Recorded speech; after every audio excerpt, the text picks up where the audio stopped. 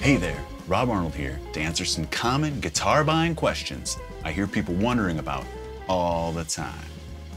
I want to get a guitar. Should I buy something cheap to get started on or get something really nice? Will I need to make modifications to my new guitar, like swapping out the pickups or tuners or the bridge? Should I go with a six string guitar, seven string, eight string? When choosing a guitar, should I get one with a Floyd Rose bridge, like with a whammy bar? Or should I go with a fixed bridge?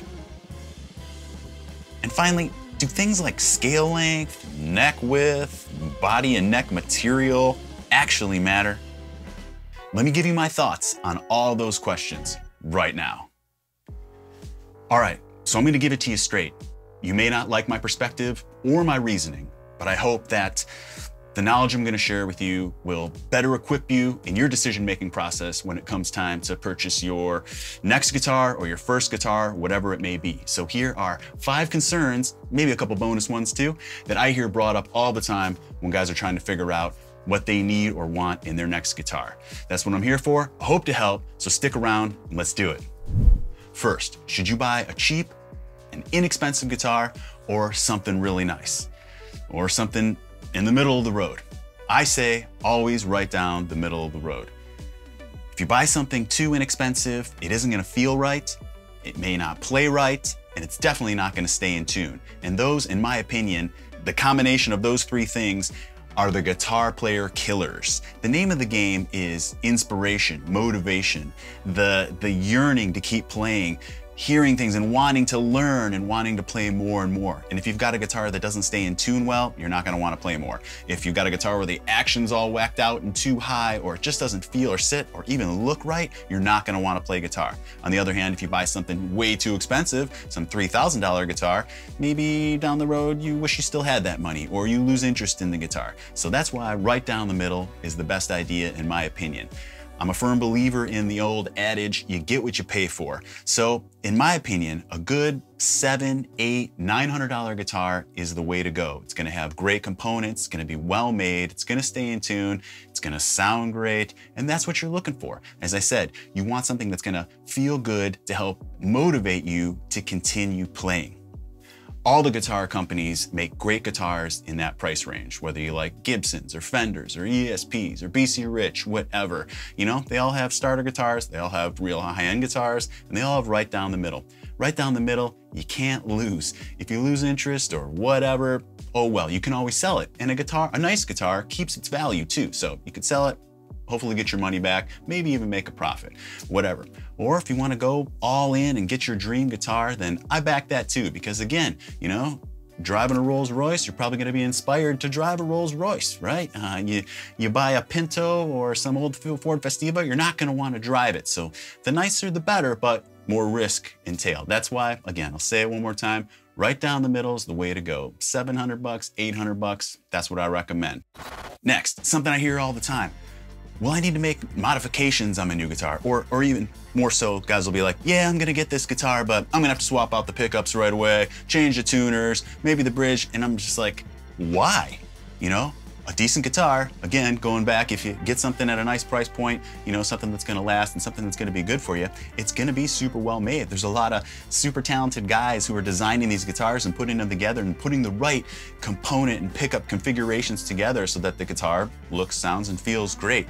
Uh, now, of course, there are exceptions to everything. Maybe you want a certain type of pickup, and by all means, go ahead and swap it out. But to go into the thought process that, that you're gonna buy a guitar and then you're gonna immediately have to change the tuners on it, that seems ludicrous to me.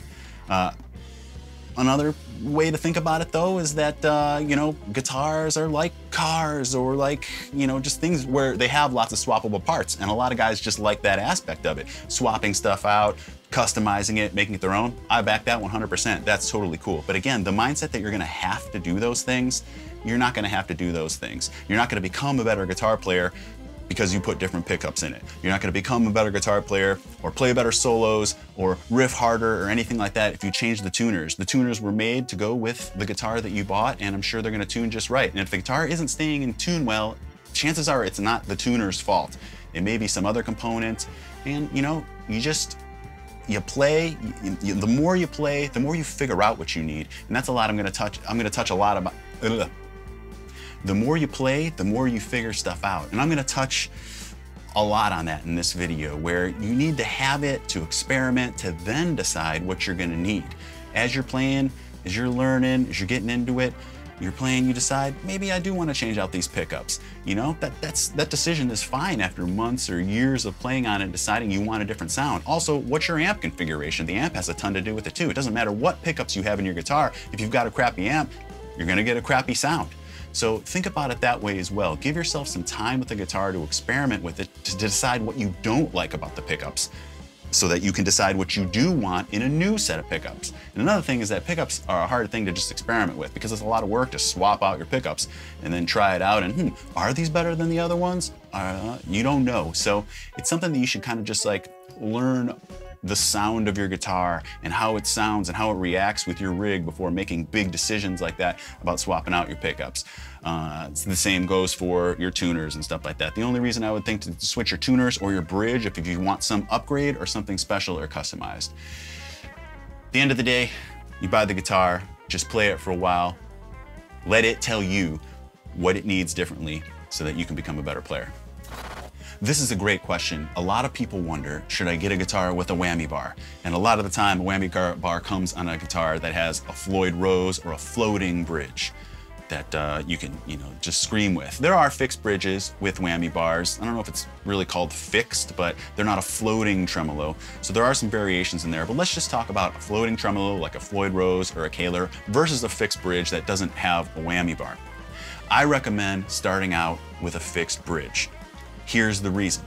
Going back to question number one, you want to be motivated to play. You don't want any hurdles getting in your way of learning and continuing on your guitar playing journey. Having a Floyd Rose is a huge commitment. It takes a lot to learn how to maintain it and set it up and tune it every single time you restring it. Anytime you want to change tunings from one string, it affects the entire thing on a Floyd Rose. So unless you have a professional working with you that you can take the guitar to for maintenance constantly or to teach you how to do it, or you're willing to put in the time to figure out how to do it, and I'll say, maybe you guys have heard me say before, it took me 20 years to master the Floyd Rose. Now I've got my a good grasp on it. I know exactly what's going on anytime there's an issue. I know how to keep it in tune. I know how to maintain it so that it stays in tune and does exactly what I want it to do. But it took a long time for me to do that. And that's touring the world, playing on it night after night. So that may be extreme. There's going to be guys that say, oh, I figured mine out right away. Hey, kudos to you.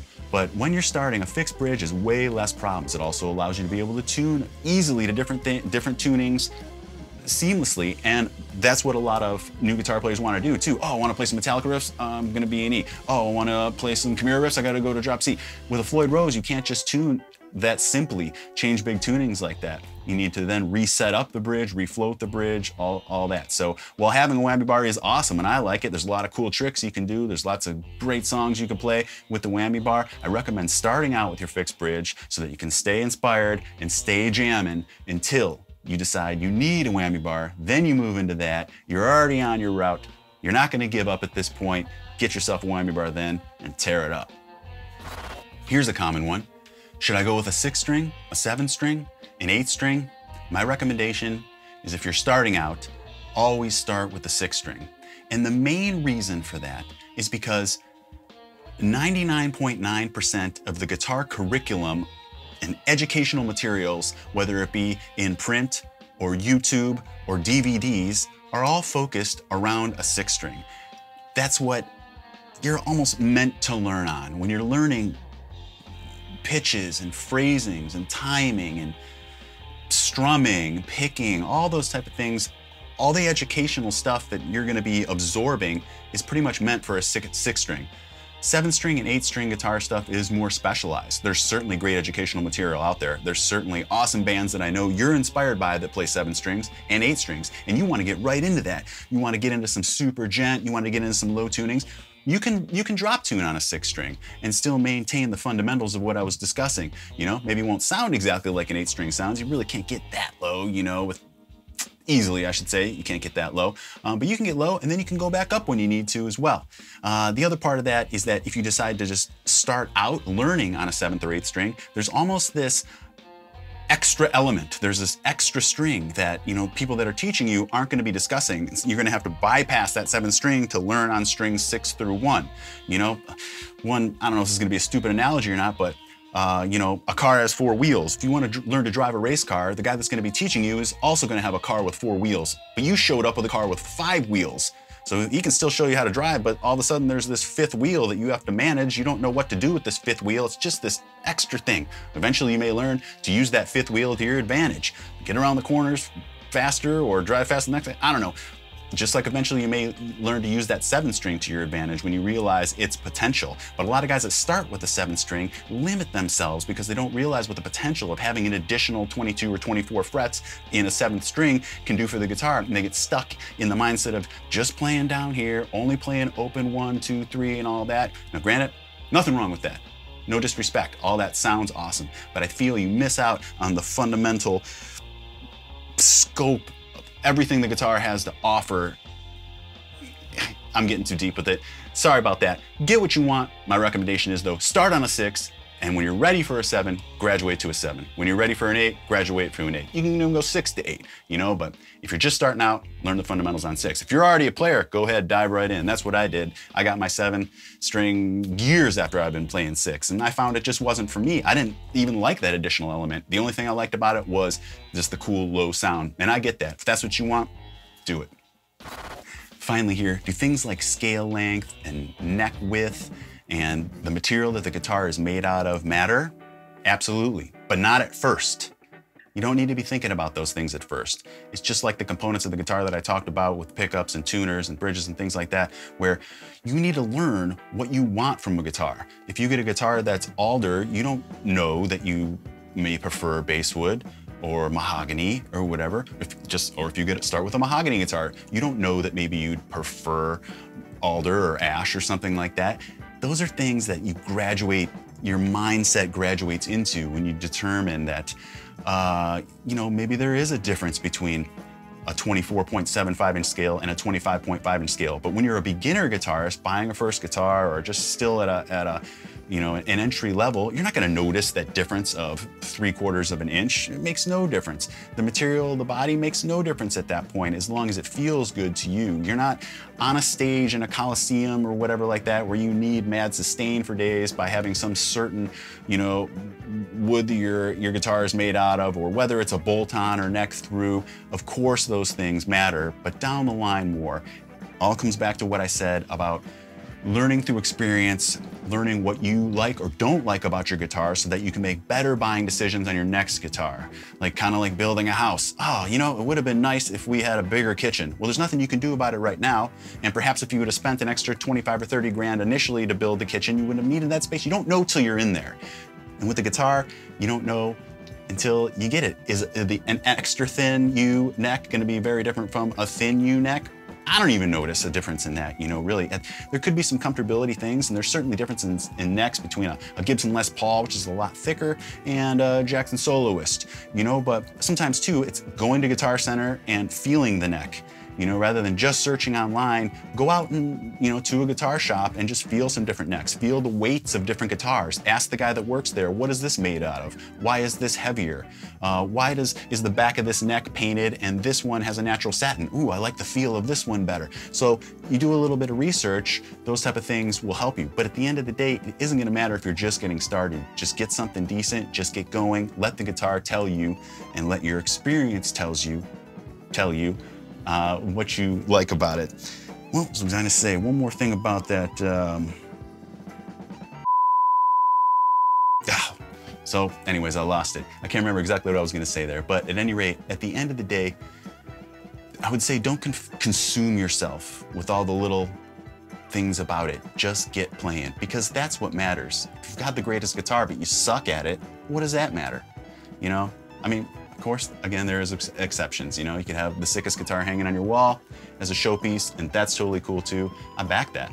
But I'm all about getting good at guitar and then figuring out what you need to help you sound better, I suppose. So if you don't consume yourself with all those little things, you just get in there, spend a little bit of money up front, save your money, get something decent, as I mentioned. And I think at the end of the day, it will pay itself back in dividends. Final bonus question for you. A lot of guys wonder about cases. Should I buy a case with my guitar? Because, you know, a lot of the guitars you hear me talking about, people are bummed they don't come with a case. And it's as simple as this. If you're going to be traveling with your guitar a lot, even if it's, you know, going to the band practice spot, you know, a couple miles down the street, then yeah, I think maybe get a hard shell case just to protect your investment, protect your guitar. You don't want anything to happen to it. But if you're really not planning on taking it places very often, then just get a gig bag. First start with a guitar stand, at least so you can set it somewhere it isn't just up against a wall or laying down somewhere or whatever like that. A guitar stand a lot of the time is just good enough. I mean, if you're just a single dude that lives in an apartment, having a guitar stand right there, it's cool. Not only is it a showpiece when people come over, but it's just there when you want to grab it. There's no real reason to put it in a case anyways.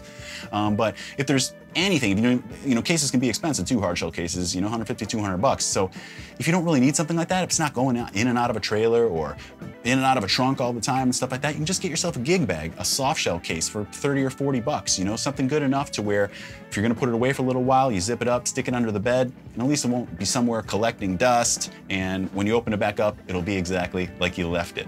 So that's that. Soft shell case is totally fine unless you're gonna be traveling around with your guitar quite a bit. Then get yourself, spend a little extra money, get yourself a hard shell or a flight case, something like that. That's gonna wrap this one up, guys. I hope you enjoyed it. I hope you don't terrorize me in the comments. You know, I'm just offering my perspective here in a way that I know from my experience, been doing this for a minute. Hope you enjoyed it. Uh, if you wanna know more, please check out some more of my videos. If you enjoyed the video, give it a thumbs up for me. Make sure you're subscribed to the channel. You can do that right there by hitting that button. Just, just hit it, make sure you're subscribed. What does that mean? Uh, you know what, just uh, when you go to YouTube in the future, perhaps YouTube will show my videos as suggestions suggestions to you, you know? And if you want to take it even further, hit that notification bell. What does that mean? It just means on your phone, a little silent notification will show up anytime I release a new video. And I recommend you do that. It's a big help to me. If you want to take it even further, check out my Patreon campaign or my guitar instructional DVD that I'm signing, sending out worldwide, featuring songwriting, riffing, soloing, arranging, all that cool stuff. A big help. If you want to just see more, learn more, you didn't even see me play guitar in this video, but you sure can in that DVD. Finally, if you're a Kemper owner, check out my custom Kemper profile uh, with tonecrate.com. Everything I've mentioned is linked in the description below, or you can check out robarnoldworld.com. Thank you so much to all my Patreon members right now. Thank you so much for watching and everybody who's been supporting. I appreciate you, and I'll see you on the next one.